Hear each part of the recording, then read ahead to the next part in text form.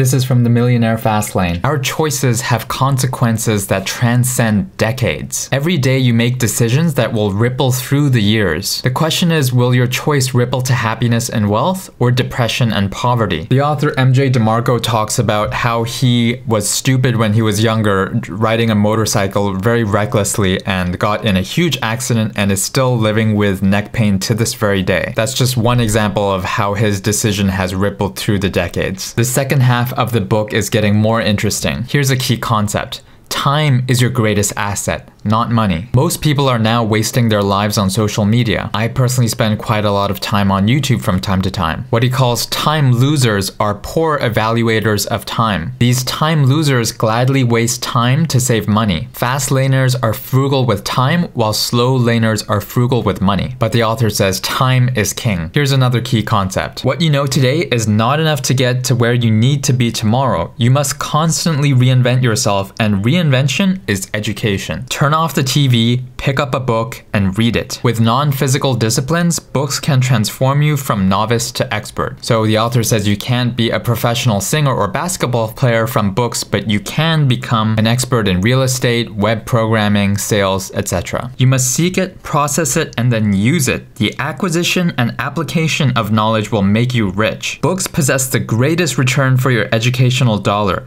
buy them or borrow them, just read them. He also suggests to follow YouTube channels where you can learn from those who have succeeded. I think the trap here is that you get into a lot of self-improvement content online and then you don't apply them. So the challenge will be to apply things you have learned from YouTubers who are successful. The best investment you can make is in yourself, so be willing to pay for your education now. Choose a topic that interests you or an area in your life that needs improvement.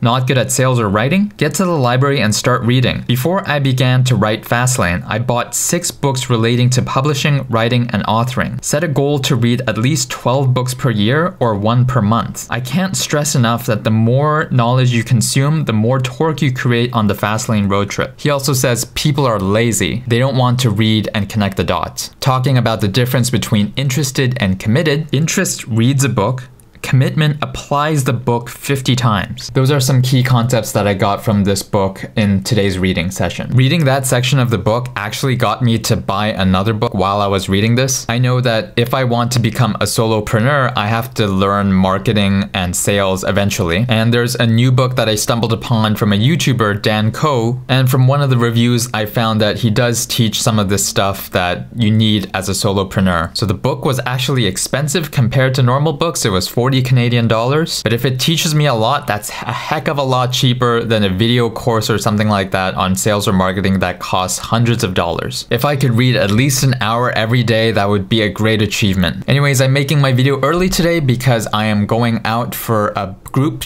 dinner tonight, some Korean Canadians. At least I got my workout in, even if I didn't do it first thing in the morning. See you tomorrow. 1% better every day, baby. It's been like three weeks since I've come out on my daily walk. It's good to get some fresh air and be alone, just me and my thoughts. Some well-needed solitude time, as Cal Newport says. Today is leg day. Really don't want to do it, but let's get it done, man. Let's do this.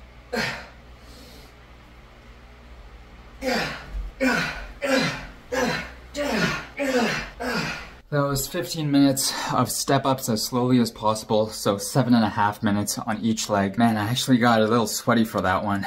Mission accomplished. Good morning, Mochi and Tega. Good morning, cuties.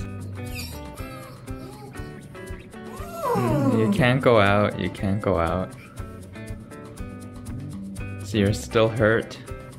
You're still hurt, Mochi. You can't go out. Nope. You're still limping. Hmm? Look at your poor leg. You're getting a bit better, I think.